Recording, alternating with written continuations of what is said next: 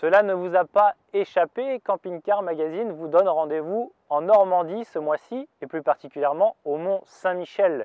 Cette merveille de l'Occident, comme elle est surnommée, est inscrite au patrimoine mondial de l'UNESCO depuis 1979 et elle figure parmi les sites touristiques les plus visités de France. Alors de gros travaux ont été entrepris depuis quelques années pour rendre un côté insulaire à ce Mont Saint-Michel, mais ces travaux sont passés par une grogne des camping-caristes puisque d'un parking au pied du mont, ils sont désormais relégués un peu plus loin, mais c'est surtout le tarif qui dérange à l'heure actuelle. Mais trêve de bavardage, ce qui nous a amené surtout au Mont Saint-Michel, c'est le super essai de ce mois-ci qui est consacré à un véhicule prestigieux pour la marque Rapido, puisqu'il s'agit de son fleuron de la gamme Distinction, le i96, l'une des meilleures ventes à l'heure actuelle de la marque.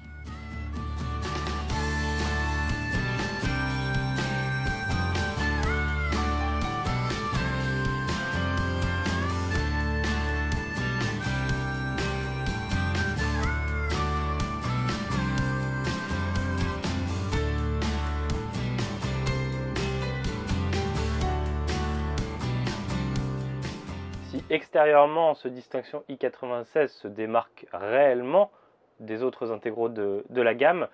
À l'intérieur, la marque a également souhaité revoir l'intégralité de ce véhicule qui est pourtant connu depuis quelques saisons. Alors revoir un véhicule, ça commence évidemment par le mobilier et ce distinction i96 est vraiment remarquable sur ce point-là.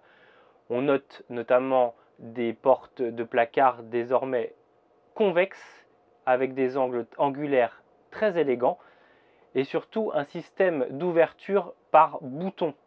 Il suffit juste d'appuyer pour que les placards s'ouvrent et pareil pour le refermer. Alors ce véhicule est disponible au choix dans deux coloris de mobilier.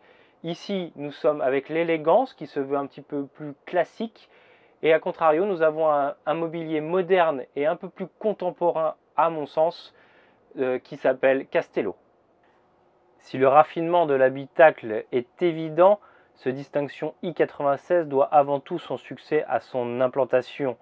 À son bord, toutes les tendances du marché sont réunies pour faire de cette intégrale un véhicule maxi confort. En partie avant, ça ne vous a pas échappé, Rapido a décidé d'intégrer un salon face-face. Ici donc deux banquettes en vis-à-vis -vis qui présentent un double intérêt majeur d'une part, il est confortable et surtout, il permet une libre circulation une fois la table rabattue.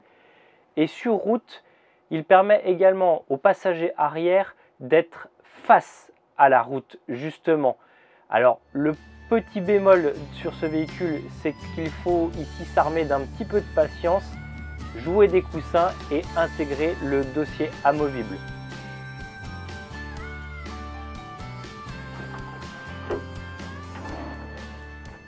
Cette paroi coulissante, en plus d'être esthétique par son bombage, est également fonctionnelle puisqu'elle permet d'isoler la chambre du cabinet de toilette.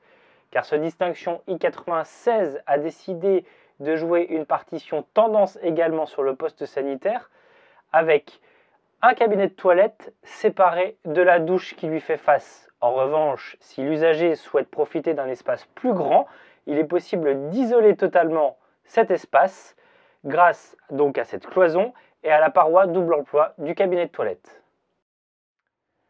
En matière de confort nocturne, Rapido fait partie des brillants élèves et ce distinction I96 ne déroge pas à la règle. Dans la chambre principale, on retrouve fort logiquement un lit central XXL de presque 2 mètres de long par 1,60 m de largeur. Le confort est confié à un matelas Bultex et sur ce première édition, il est secondé par un surmatelas à mémoire de forme. On retrouve également des têtes de lit relevables indépendantes pour le confort de chacun. Ce distinction I96 se démarque également par le fait que le constructeur a doté en tête de lit les commandes qui permettent de régler l'autoradio à sa guise et ce donc depuis la chambre.